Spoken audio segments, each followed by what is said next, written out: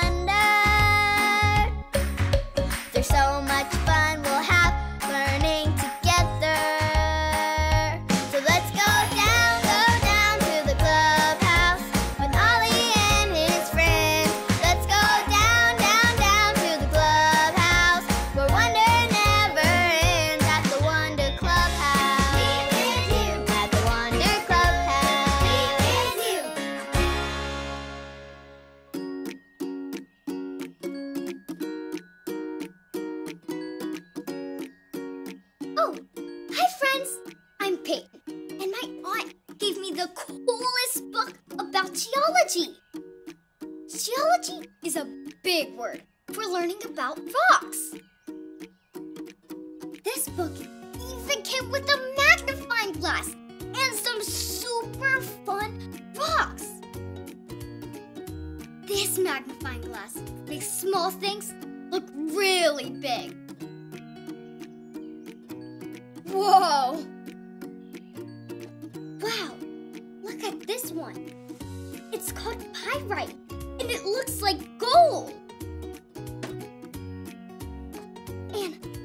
Look at this one. The book says it's a tiger eye.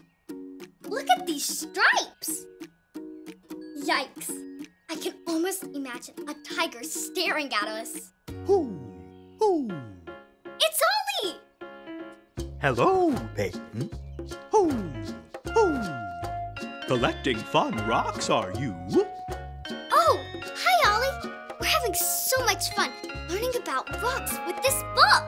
Learning from books is good. It's true. We can learn even more from Jesus, too. Listen to this story. Just follow me through. Hoo, hoo. Follow me through, follow me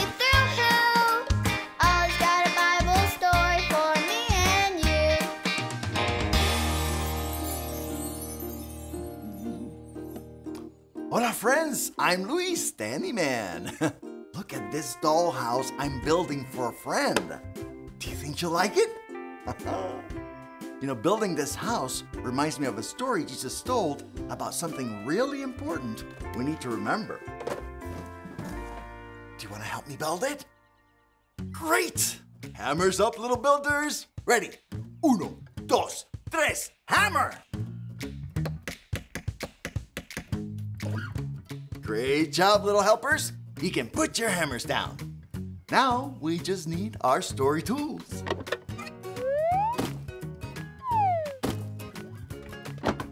Yep, we have everything we need. Okay, so like I said, Jesus told this story to teach us something very important. It's about two men who each decided to build a house. One wanted to build it on the sand and one wanted to build it on the rock. Tell me, if you had to choose where you wanted to build your house, would you build it on sand or on rock? Hmm, interesting. Well, let's see what happens. Let's put up the two houses one on the sand and one on the rock.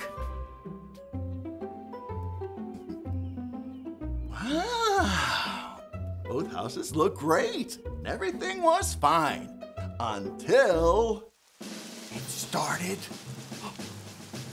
Do you hear that? Oh, oh, it's raining. Ooh, everybody rub your hands together to make the sound of rain. Oh, and it rained harder and harder. Now, pat your legs.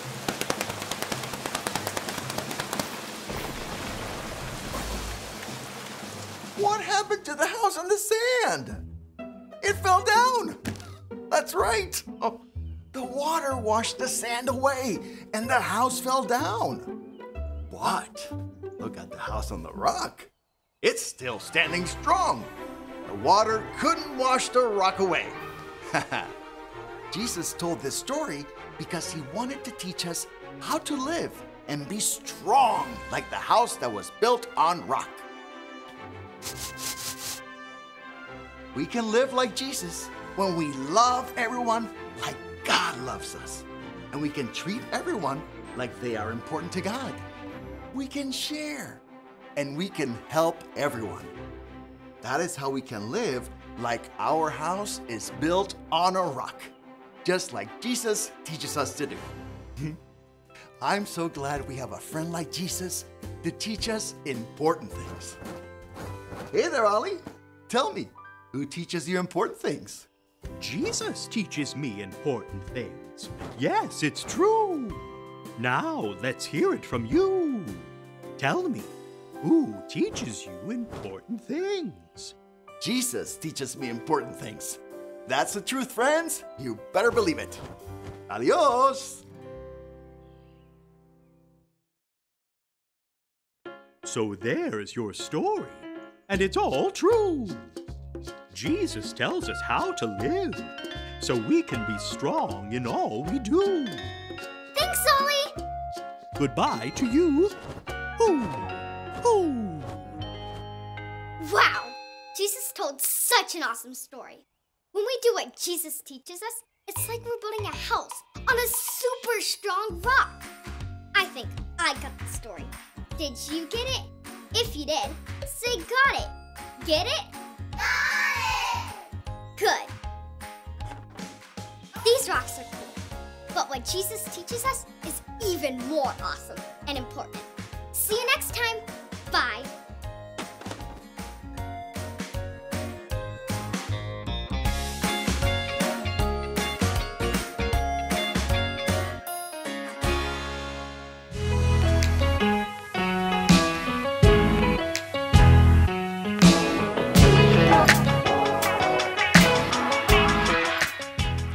Crowds were amazed at his teaching.